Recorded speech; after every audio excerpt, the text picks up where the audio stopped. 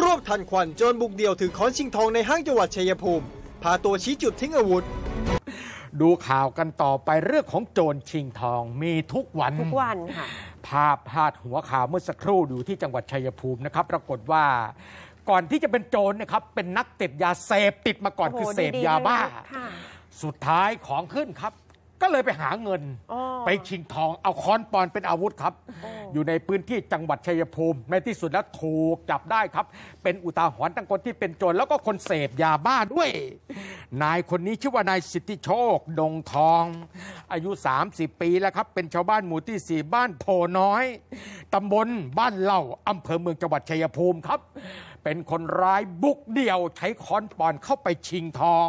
ห้างทองเยาวราชกรุงเทพในห้างบิ๊กซีชัยภูมินะครับนี่ได้ซองไปได้ทองไป 18 เส้นนะครับ ทั้ง 2 สลึงด้วยแล้วก็ 1 บาทด้วยนะครับ น้ำหนักก็ประมาณสัก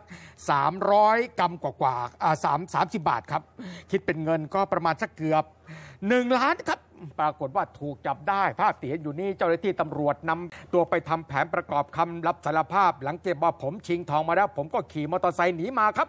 อยู่ในพื้นที่ไม่ไกลจากที่เกิดเหตุเท่าไหร่ ผมก็โยนค้อนปอนทิ้งอยู่ตรงนี้โอ้เจ้าหน้าที่ตำรวจก็เลยตามตัว แล้วก็เอามาดูนะครับว่าโยนค้อนปอนลงตรงน้ำนะครับเป็นอย่างไรบ้างนี่นะ ในที่สุดแล้วอ้าวไม่ต้องพูดอะไรมากครับ เพียงแต่ว่าถูกจับได้ไปเรียบร้อย ประเด็นสำคัญอยู่ตรงนี้ครับข่าวสาร คือนายคนนี้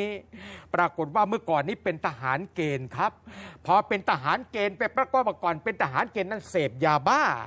พอเมาเข้าที่ไปเป็นทหารแล้วก็หนีกลับบ้านครับอ๋อหนีจนกระทั่งถูกว่าให้ออกไปเลยนี่นะอ๋อพอมาอยู่บ้านอันนี้เพื่อนบ้านเล่าให้ฟังนะ บุคลิกอย่างนี้เป็นคนเก็บตัวอยู่บ้านก็เรียบร้อยอยู่กับแม่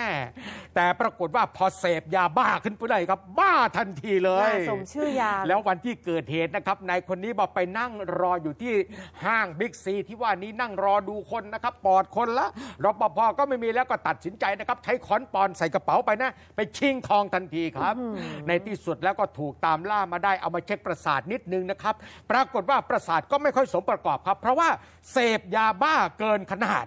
เพราะฉะนั้นเป็นเรื่องที่ไม่ดีทุกอย่างนะครับ เกี่ยวกับเรื่องยาบ้า แล้วก็รายงานข่าวทุกวีทุกวันนะครับ ไม่รู้จะทำยังไงบ้างเอาก็เป็นค่ะอุทาหรณ์อันหนึง ที่ทำให้เกิดปัญหาสังคมวันนี้ครับ ใช่ค่ะ แล้วก็ชิงเงินชิงทองกันครันี่บ่อยด้วยนะคะเออ